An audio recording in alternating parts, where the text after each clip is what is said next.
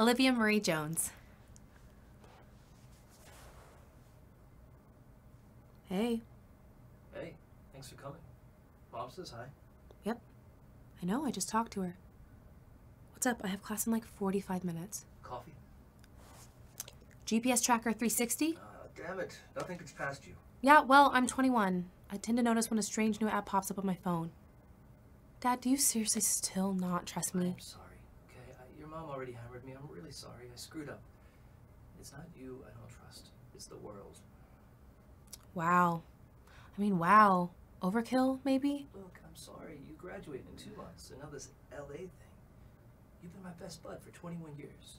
Your fall semester wasn't. I know. I know. I'm sorry. Look, for 21 years, it has been my job to protect you. Do you think that's easy to let go of? And now you want to move to LA. I, I'm just afraid. Why? Of what? I'm gonna be fine. For I. you, okay? For me. Dad. What can I say? You're old man. It's not so tough. I don't see an old man. Thanks. Dad. I got this. I. I'm gonna be fine. Um, I got all the crazy shit out of my. Okay, I'm focused. Classes are good.